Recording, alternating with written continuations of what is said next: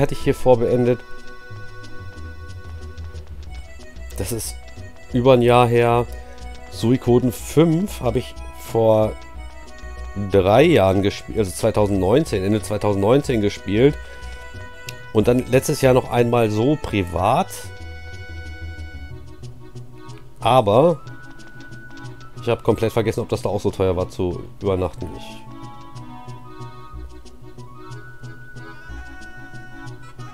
Ah, gut. Nee. So, ich muss an die Tafel gehen, ne?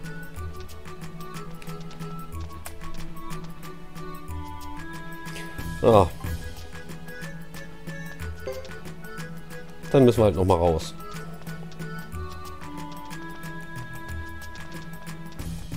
Tja, so kann es gehen. Ja. Ach, ich wünsche mir, es wäre anders gewesen.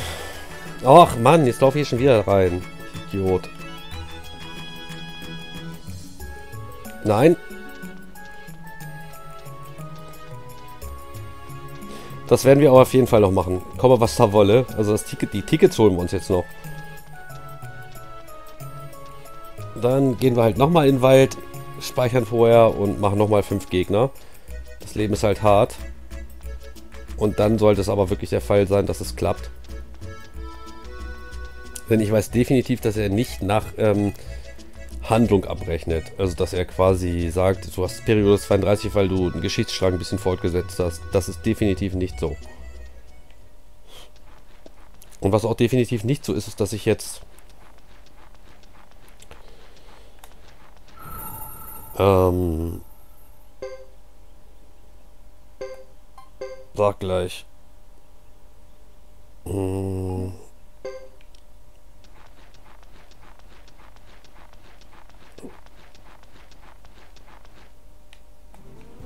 Meine ganzen Heil-Items verbrauchen möchte. Das wollte ich, glaube ich, sagen. Ich habe schon wieder, ich glaube, das war, was ich sagen wollte. Ich weiß das nicht ganz genau. Was haben wir denn eigentlich? Hat jetzt noch irgendwer einen Slot frei gehabt? Ey, habe ich auch schon wieder vergessen. Nee. Also wir bräuchten definitiv jemanden, der... Und das wird nicht... Also wir, wir und ihr, ich, wir nehmen den Joker definitiv nicht seine Feuerrune weg. Auf keinen Fall. Wir nehmen auch Ghetto auf keinen Fall seine Lightning-Rune weg. Macht das bloß nicht. Also, oder beziehungsweise, wenn ihr was machen wollt, dann könnt ihr später noch entscheiden. Aber vorerst macht es einfach nicht.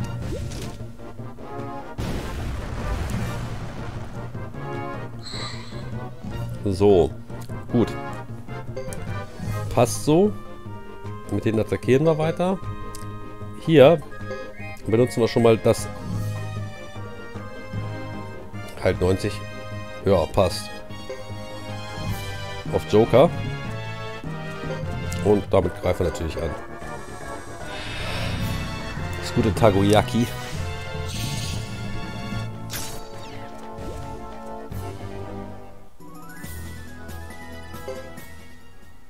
Also das Heilen ist ja am Anfang definitiv wichtig. Wie ich finde. Also auch erstmal zu schalten, weil du hast ja, kannst ja Joker heilen, du kannst ähm, Queen heilen und du kannst auch teilen. Und das ist was, das habe ich nie beachtet, als ich das erstmal durchgespielt habe. Also am Anfang jetzt, dass du halt teilen kannst. Oder ich habe es vielleicht einfach nicht geschnallt, ich weiß es nicht. Ist auch schon ein bisschen lange her. Ich glaube, das erste Mal habe ich das ähm, gespielt, da war Suikoden 4 hier schon draußen. Da haben wir, genau, ne, da kam Suikoden 4 raus, genau. Und dann ein halbes Jahr später habe ich halt das hier gespielt, weil, weil wir uns alle gewundert haben, hä, warum kommt ein Suikoden 4 raus? Gab da noch gar kein drittes. Und wir waren alle Fans, also mein bester Kumpel damals, äh, seine Freundin, also wir haben alle die, die ersten beiden Spiele schon verzerrt, also uns nach dem Spiel verzerrt. Und auf einmal kommt 4 und wir haben uns alle noch gefreut. Und dann so, hä, warum 4? Ja, hat sich dann später irgendwann rausgestellt und dann haben wir uns alle eine Playstation 2 mit einem Chip geholt und haben es gespielt. Ja. Und dann war für mich gleich, bumm, war das hier ähm, Mal ab, wer das eine oder andere gut findet. Für mich war gleich hier weil ich das, ich habe das zweite schon gelebt und dann war, war, das hier gleich so, die waren beide so auf einem Level. Erst heutzutage finde ich wegen der intensiveren Geschichte das hier sogar noch besser. Definitiv, weil die, Geschichte hier wirklich hat der, haben wir, habe ich ja auch schon mit dem, zu dem China gesagt, also die, das ist viel textintensiver für dich selbst zum Lesen, wenn du Zeit hast, logischerweise, und ähm, wesentlich emotionaler. Also in, wirklich intensiver. Das finde ich, äh, und damit meine ich jetzt nicht einzelne Momente wie, ähm, ich, dass, dass zum Beispiel Ryo seine, seine ähm, Schwester da eventuell verliert oder seinen besten Freund, ne? Ich meine jetzt das Gesamtbild, ne? So, aber auch egal. Wir müssen jetzt wieder mal heilen. Und wir werden Porkban heilen. Das werden wir Ghetto geben. Mit den beiden können wir einwandfrei attackieren. Und er müsste dann auch mal in seine Tasche greifen und ein bisschen Tomatensaft trinken.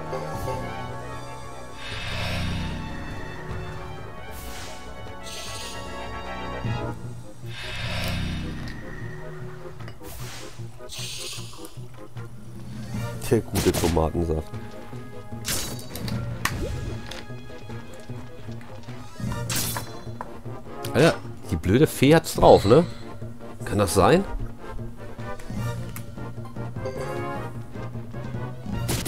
Ich bin zu faul, jetzt jedes Mal Feuer auf die zu machen.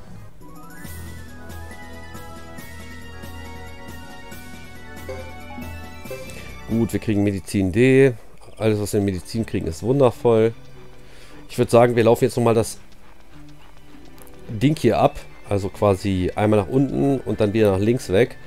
Und gehen wieder in die Stadt und hoffen, dass es dann geklappt hat. Mit, der, mit dem ähm, zeitlichen, dass wir die Handels die, die Ticketperiode 32 haben.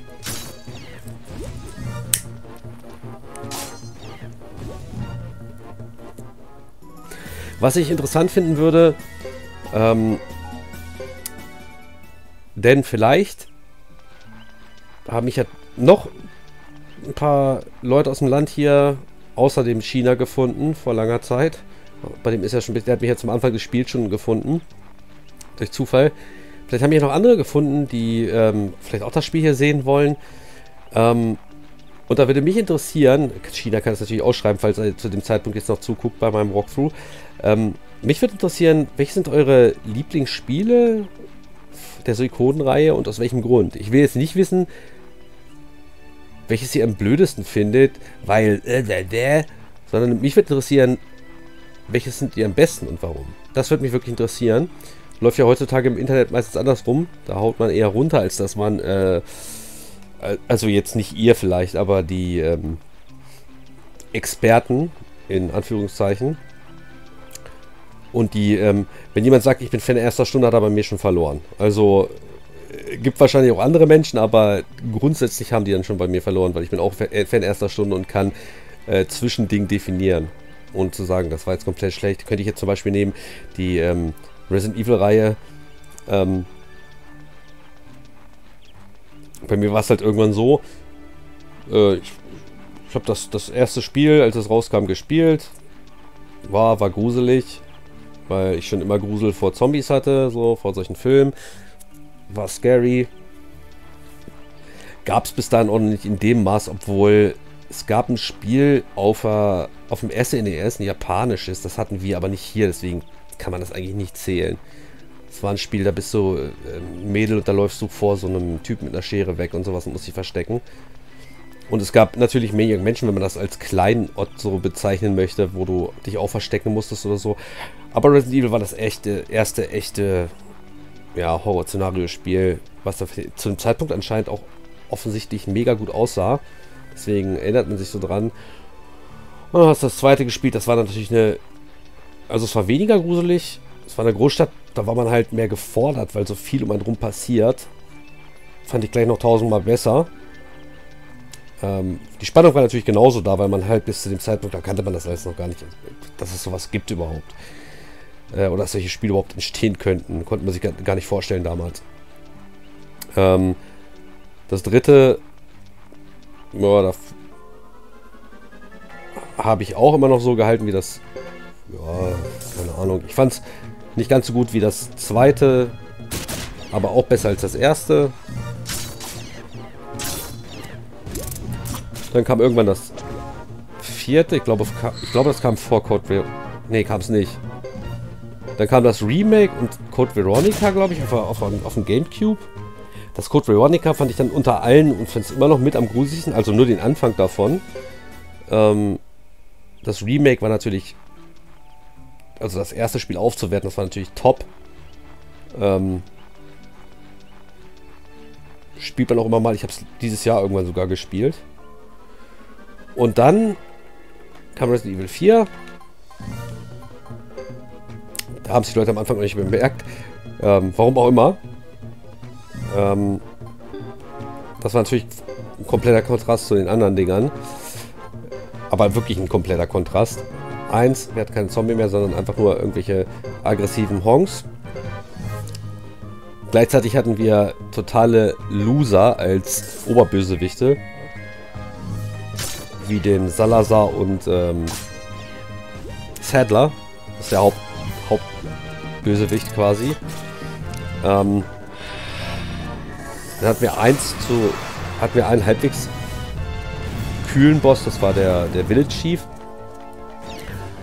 Und das war natürlich voll auf Action aus, mit Waffen aufleveln wie in so einem Kriegsspiel und du hast halt in dem Spiel auch unendlich viel Munition, sage ich jetzt einfach mal, als zum Spaß. Natürlich hast du nicht unendlich viel Munition, aber du findest immer mehr, als du Gegner erledigen musst. Und von denen kommt eine Menge, eine richtige Menge. Das fand ich dann sehr cool. Das hat mir sehr gefallen, diese Mischung aus, ähm, ja, Grusel. Ne, Grusel ist ja nicht, das dann Horror. Und der Grusel wäre wie die ersten drei Spiele für mich.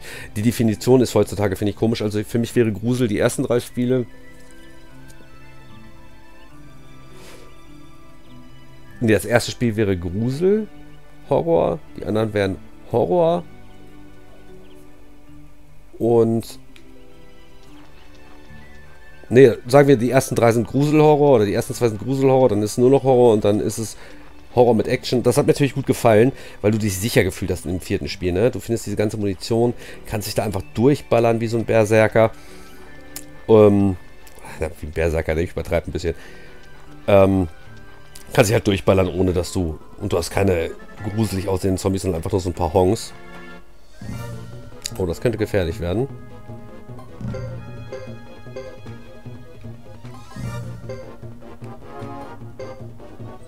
Das machen wir lieber mal auf eine von den Feen. Und er kann ja auch irgendwen attackieren. Und ähm, dann hast du das fünfte gekriegt. Das war dann halt mal nicht in dunkelster Nacht. Und ähm, war im Prinzip das gleiche wie das vierte, nur dass du Multiplayer, also dass du mit zwei Leuten spielen konntest. Also das gleiche wie vier, nicht ganz doppelte Anzahl an Gegnern und du bist zweit. Ähm, macht natürlich vom also am Anfang hast du immer diesen diesen diesen ähm, Puls auf 5000 finde ich aber ist ja auch klar wenn du was nicht kennst ähm, Macht natürlich dann, wenn du alleine gespielt hast. Ne, wenn du zu zweit gespielt hast, dann macht das natürlich ein bisschen wett. Weil du fühlst dich sicherer, wenn du zu zweit spielst, ne? Wenn du alleine gespielt hast das erste Mal, dann hast du ja trotzdem quasi genau den, den gleichen, das gleiche Gefühl von, von Druck oder Intensität wie beim vierten. War halt aber bei hat bei Tageslicht in der Sonne gespielt. Ich glaube, das hat es dann für viele schlechter gemacht als das vierte. Warum auch immer, weil dafür hat du nicht so eine Volltrottel als Bosse. Also die Story war wieder ernster. Ähm, ich fand es eigentlich gut, dass das mal nicht in irgendeiner dunklen Stadt oder in einer dunklen Villa oder was weiß ich was gespielt hat. Ne? Wie gesagt, das ist für viele die Definition von Horror, weil Dunkelheit die größte Angst der Menschen ist, habe ich mir sagen lassen. Kann auch sein. Ähm, ja, wie gesagt, ich fand 4 und 5 dann richtig gut. Beim 6 hatte ich Probleme mit dem Gameplay und ich fand das dann auch schade, dass man nicht mehr aufrüsten konnte, die Waffen und sowas, weil man das aus den beiden Vorgängern 4 und 5 gewohnt war. Ähm, die KI, die zu deiner Seite war, die war weniger, also man konnte nicht verstellen, ob sie suchend sein soll oder aggressiv. Das hat, konntest du in 5 halt, auch wenn viele es anscheinend nicht gemacht haben. Offen, nee, es haben offensichtlich viele nicht gemacht, weil ähm, die KI bei 5, wenn du sie auf aggressiv stellst, dann agiert sie sehr viel. Die sammelt sogar selber ähm, Munition und also Scheiß auf und gibt sie dir. Also sie, eigentlich ist sie sehr schlau und sie belebt dich auch wieder. Aber die meisten haben, glaube ich, wahrscheinlich einfach nur auf ähm, defensiv gespielt oder das einfach so gelassen. Keine Ahnung. Ähm, ja, und dann kam 7 und da war für mich als das, wo so ein Umbruch war, äh, also es kam, dazwischen kamen auch noch Sachen, aber bei 7 war es dann so, dass die Reihe von der, von der, äh, dass das direkt auf eine, auf eine Ego-Perspektivenkamera gestellt und das hat für mich die Intention rausgenommen, also den Charakter zu, mit dem Charakter zu führen, weil du einfach nur zwei Hände bist. Ne? Ich bin jemand, ich möchte so haben, wie zum Beispiel hier oder so, äh, dass du die Person siehst, wie in einem Film, die du spielst das macht für mich Videospiel, also damit bin ich auch aufgewachsen. Ne? Ich bin nicht, habe mir nicht einen Computer gekauft und habe dann gleich Doom gespielt und fand das am besten, sondern ich habe es halt, ich sehe wenig Spiele, egal in welcher Variation, ob das 2D oder 3D ist. Oh ja, jetzt sind wir soweit, um das zu Ende zu bringen. Und das hat für mich so ein bisschen den, den Reiz rausgenommen, ne? Aber ich werde keins davon schlecht machen. Keins der Spiele aus der Hauptreihe oder den Nebenteilen, weil es kann ja sein, also sie haben ja alle ihre Vor- und Nachteile. Oder ihre guten und schlechten. Und so ist das bei, bei Suikoden dann halt auch. Ja, das war schon, ne? Mehr, mehr brauche ich dazu eigentlich gar nicht sagen. Also diese Spiele sind alle durch die Bank top. Ähm, das eine, was nur in Japan gibt, habe ich nie gespielt, aber sind auf jeden Fall top auf ihre Weise alle. Also nichts, was ich sage, ist irgendwie so gemeint, dass irgendwas daran wirklich schlecht wäre. Oh, halt. So. Jetzt sind wir aber falsch. Wir müssen nämlich hier rangehen.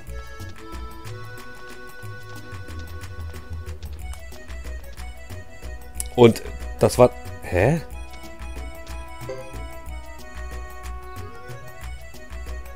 Ne, wir haben es immer noch nicht.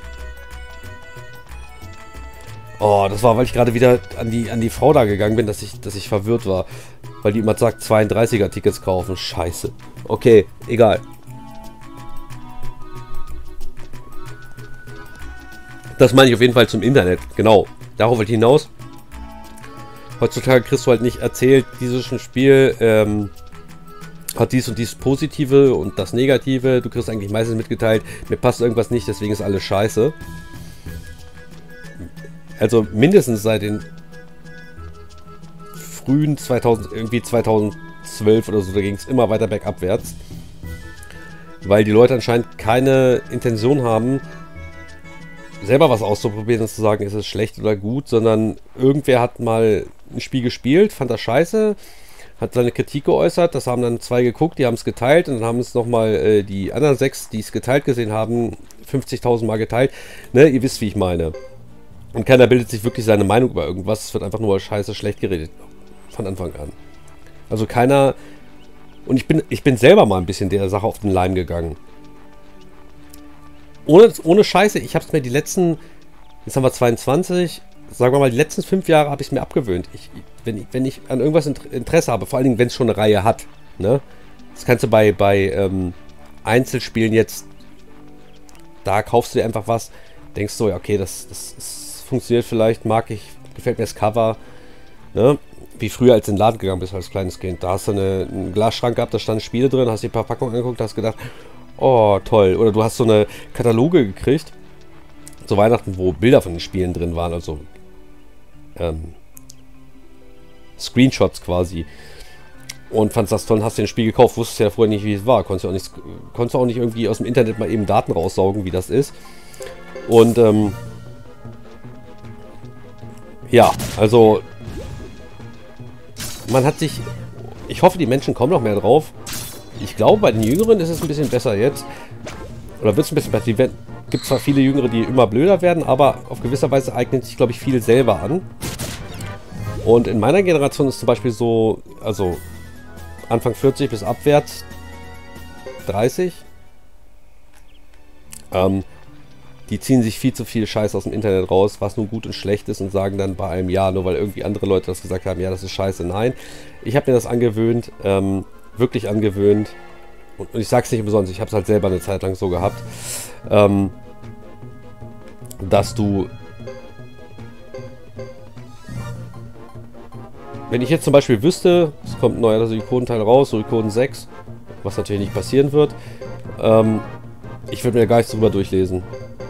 Wirklich null. Ich würde mir vielleicht mal einen Ingame-Screenshot angucken, bevor es rauskommt, aber ich würde mir da absolut nichts von reinziehen, weil ich weiß, dass ich einen Trailer gucken würde und dann hat es ja so YouTube so an sich, man liest sich Kommentare durch. Ähm, dann wäre es irgendwie so, dass dann irgendwelche Kommentare darunter sind, die es halt schlecht machen. Vielleicht, du hast so 36, die schlecht machen und dann hast du zwei, die es gut machen. Und da habe ich keinen Bock mehr drauf. Ich habe keinen Bock mehr von irgendwelchen Leuten irgendwas schlecht reden zu lassen, bevor ich es überhaupt gut finden kann.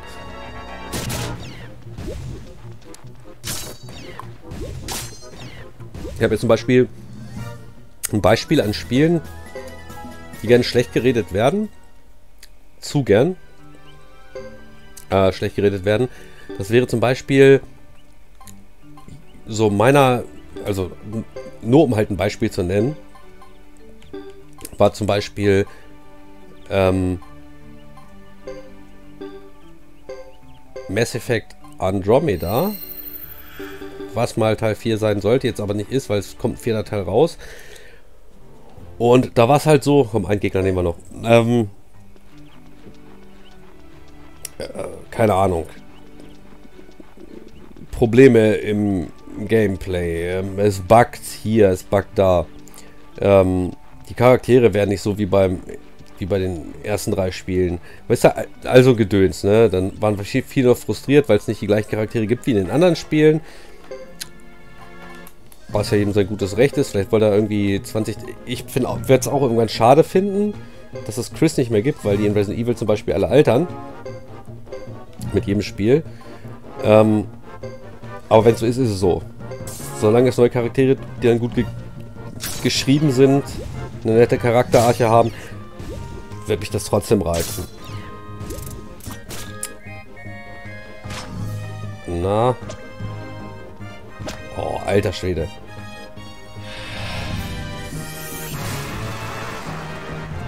Ja, jetzt habe ich schon wieder vergessen, worauf ich hinaus wollte, weil ich so auf Jokers Move gespannt war. Ach genau, ja. Ähm, genau, Mass Effect Andromeda. So. Dann habe ich mir das nicht gekauft.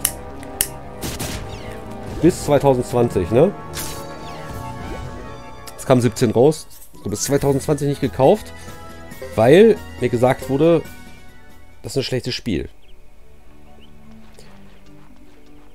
Dann habe ich mir gekauft gezockt. Dann habe ich gedacht, alter Schwede, was für ein Bullshit. Die Charaktere in dem Spiel, also allem voran, also ihr könnt euch bei Mass Effect Spielen eigentlich immer, also es gibt ein vorgegebenes Bild, ne, wie der Charakter aussieht, haben sich Models ausgewählt.